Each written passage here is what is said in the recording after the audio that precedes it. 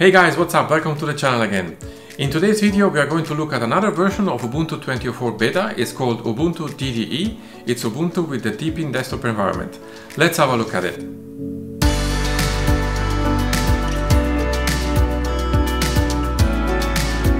So I booted up now the machine from the ISO and we have only one option here, so I'll just hit enter. And the first thing I'm seeing here, there is a file system check before booting the machine. And that's it, no errors found. So we boot now in the live ISO. And there you go, we are now on the desktop. So I'll need to adjust the scale here. So I'll right click and click on display settings. And I'll bump the scale to 2 here. And there you go. I'll need to log off before changes take effect. So I'll click here on the button and click log out. And we are back now in the desktop. So let's go ahead and install the system. So let's double click the installer here. And the first thing we are asked to select the language. So I'm going to choose English here.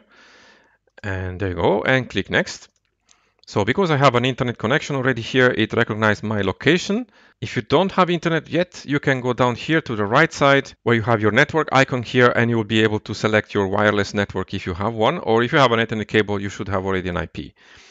And once this is done, we just click next. And now we can select our keyboard layout. So I'll select mine here. So I'll go down to my keyboard layout here. I don't have English US right now. And then I'll just click next. And now we are asked to select the device where we want to install Ubuntu DDE. So in my case, I have only one disk here and I want to erase the disk. And I'm offered here also the option to encrypt the system. So if I check this box here, I can enter my passphrase here and then my disk will be encrypted. But I don't need to do this now, so I'll check this off and then just click next. Now I can create a new user, so I'll type in my full name here and then choose a username. And for the machine name, I'll choose Ubuntu DDE and then I'll choose my password and retype it. And we could also log in automatically without asking the password, but I don't want to do this. So I'll just leave this checked off and click next. And this is the summary of the installation. So we have our location here, the keyboard and the partitioning. So everything is set and we can click install. And for the confirmation here, we'll just click install now. And now the system is going to be installed. So I'll be back when it's done. So there you go, the system is now installed and the checkbox here to restart now is already checked off, so that's fine. And let's click done and reboot our machine. And I'll hit enter here to remove the ISO from the system.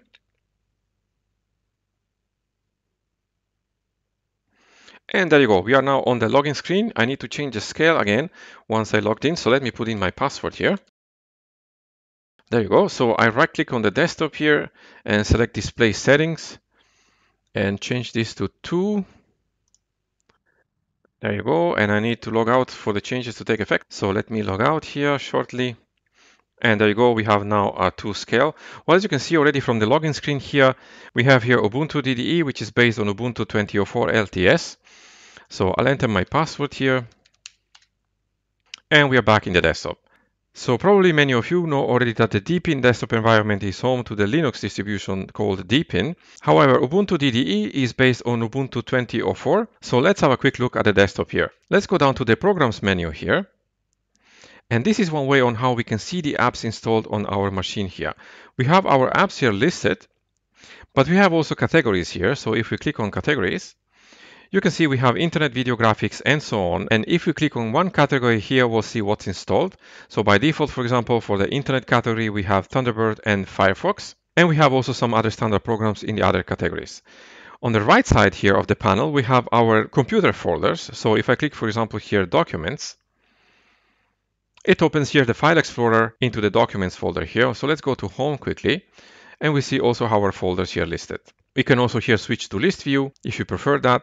And by clicking on the options here, we can also go to the dark theme. As you can see, this is still a little bit buggy. Let's not forget this is still a beta. So we can close this up and reopen it for the changes to take effect. There you go. And it looks also fairly elegant. So let's close this up. The second way on how we can see apps in Deepin is actually to expand the menu here by clicking this icon here. And we have now a grid layout, which is very similar to the GNOME grid layout or to the Launchpad in macOS. And we also have a search bar here on top from where we can search apps. And a third way on how we can see apps on this desktop environment is to select the category icon here, which is going to have the categories on the left here, and we can scroll through them and see the apps in it. And we also have our search bar here on top as well. But I want to go back now to the first option. So I click the contract icon here. And as you can see here, we have already some updates for the system. So I'll pull this up. And this is the same software updater we have in Ubuntu. So I could choose here install now, but I'm going to skip this for this. So I'll click remind me later. And let's have a look at the settings here. So the settings here are based on tabs, which will appear on the right side of the screen. And as you can see, they are divided into categories as well. So we have accounts, display, and so on. And once I click on one of them, so for example, I click on accounts here, the categories here are going to be listed on the left side and I can scroll through them by clicking on them. So for example, I am now on the personalization category and I could choose here, for example, a different theme for the system. Right now it's the default, but I could choose also Deepin dark, for example. Or I can choose also another theme for the icons as well. So the preview here is missing right now. And I think this is because it's still a beta, but this is basically where you'll be able to choose different kind of themes for your system. So we can then go back here and let's scroll down to the last category here, which is the info category. And here we have some information about the system. So you can see it's based on Ubuntu 20.04, 64-bit machine, memory and disk. And if we scroll down the list here, we have also an option for the boot menu where we can configure also the theme for the boot menu and also for the startup delay. So let me go back here to the main tabs. So Ubuntu DDE comes with the LibreOffice installed already. So if I click on all categories here and go to Office, and let's pull up Writer here. There you go. Let's check the version by clicking Help here and About LibreOffice. And as you can see, it's version 6422, which is the latest version. So it's nice to have here. So I click Close here and click the window. And now let's change our wallpaper here. So I right click on the desktop here and go to Wallpaper and Screensaver. And the selection here is based on this navigation bar here on the bottom of the screen. We have many wallpapers to choose from here already. So I'm just going to select one.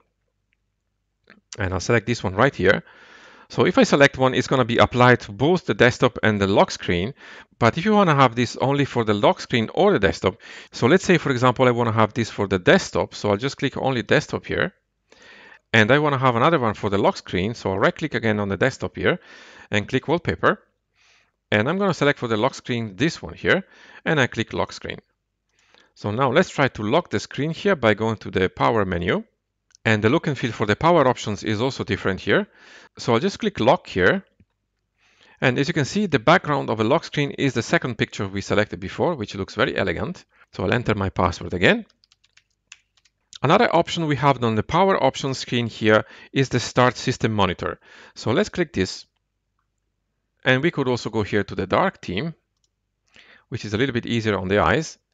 And here we can see the applications running right now. And we can, of course, right click on this and end the process if we want to.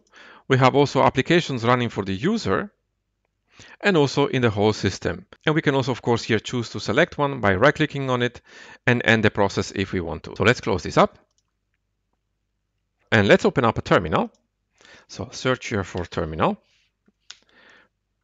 And let's type in now uname dash r. This is kernel 5.4. This is the same kernel, of course, which ships with Ubuntu 20.04. And we can also, of course, check for updates here directly with the apt command. So we could type in, for example, sudo apt get upgrade and hit enter. Enter the sudo password. And I could update my packages like this. For now, I'll type in n and hit enter. Because I want to show you another thing here, if we go back to the Programs menu and under Categories, we go to System, we have several ways on how we can update software here. We have, by the way, also the Software Center, which is typical also to GNOME. We have also software and updates, in which we can also add more repositories if we want to. This is also standard in Ubuntu. And we have another option here, which is the software updater, which popped up before asking me for updating the system. This is also standard in Ubuntu as well. Again, I'll click remind me later. But here we have also another possibility, which is the Synaptic Package Manager. And it's nice to have this option as well here so that we can choose which application we want to use to manage our packages. So let me click Synaptic Package Manager here. And I have to enter my sudo password. And I'll close the window here and expand the package manager. So it's a little bit dark here. The icons don't come up really well, but I just want to search for a package here. So I'll click search here and I'll type in timeshift and hit enter. And we have timeshift available here, so we could right click it and click mark for installation and click apply and then click apply again. And it takes a moment now to download and install the package.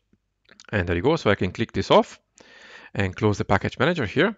And now if we type in Timeshift, we have Timeshift there on the top with the blue dot, meaning this is a new app. So we can start this up. And I need to enter my root password here again. And here is Timeshift up and running. So let me close this up. And this is a very quick look at Ubuntu DDE, the Ubuntu 2004 version with the Deepin desktop environment. It's still in beta and it's going to be released a few weeks after the Ubuntu 2004 release. And I'm going to check this again once the full release is out by making a full review. So there you go, this was a quick look at Ubuntu DDE, Ubuntu 2004 with the Deepin desktop environment.